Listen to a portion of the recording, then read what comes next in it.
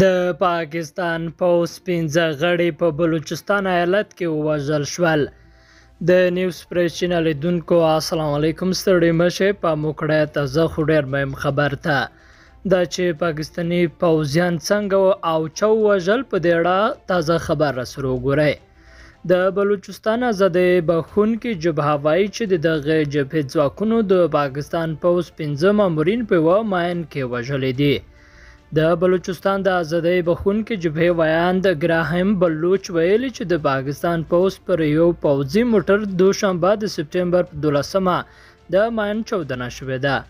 د بلوچ په وینا په دغه پیښه کې د پاکستان د کیچ په میند سیمه کې شوې ده.